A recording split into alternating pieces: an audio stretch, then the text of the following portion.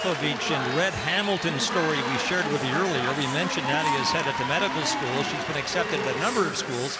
Kraken honored her during the second commercial timeout tonight. Seattle and Vancouver, both teams combined to award her a $10,000 scholarship. So she's already saved a life. Some of her education's paid for. Nadia's medical career's off to a good start as this story just keeps getting better, John. Good deeds. That's there right. It is karma.